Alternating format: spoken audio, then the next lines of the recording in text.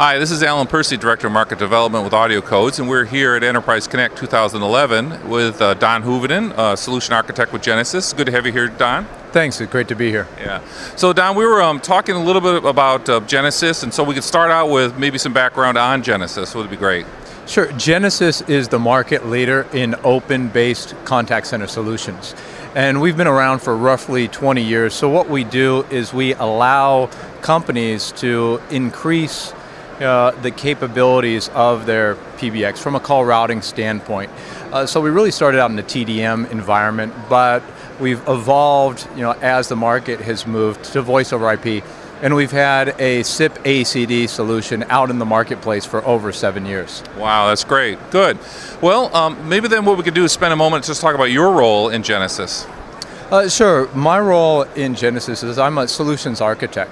So what I do is I work with the various uh, sales teams, both the account executive as well as the solutions engineers, on typically more complex deployments. So as new technologies emerge, you know, SIP has been around for uh, roughly 10 years, but you know that's gone through a number of iterations. So when you know we need to do interoperability with PBXs, hybrid PBXs, media gateways, or carriers now that they're offering SIP trunking solutions or other SIP-based solutions. That might be uh, one area that I would be involved in. Great, great. So we were talking earlier about uh, solutions that use both AudioCodes and Genesys together, uh, and, and, one of those that came up was a was a large contact center uh, that um, does uh, what we call maybe uh, software as a solution, right? So it's a hosted platform uh, in Working Solutions. And Working Solutions uh, uses our media gateways uh, to drive their large contact center. So tell me about the things, you know, the attributes about a gateway that make a contact center uh, productive.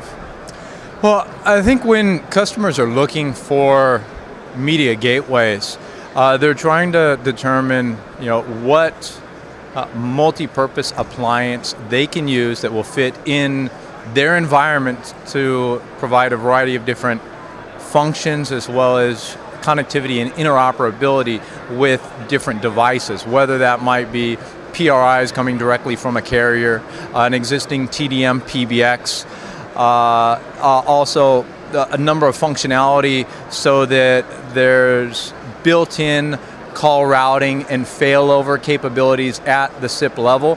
When you look at you know, what may be available in a SIP trunk, whether it's coming from a carrier or from a hybrid PBX.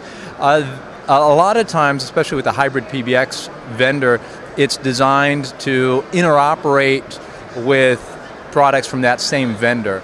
So when we look at AudioCodes, audio codes is really a vendor agnostic solution and is added in a lot of bells and whistles so that it allows you to distribute traffic across diverse locations, support uh, a high availability disaster recovery strategy that can be aligned with the customer's business requirements.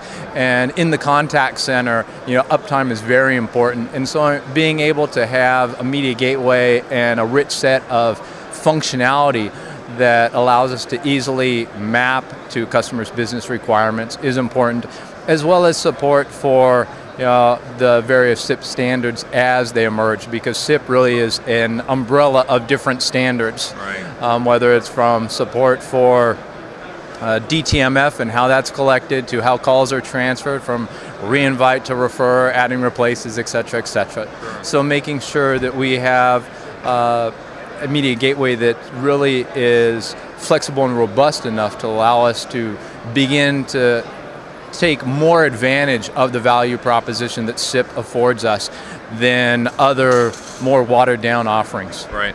So it sounds like probably the biggest attributes is, is we take away a lot of the pain of interfacing to the legacy TDM world and some of the other SIP world.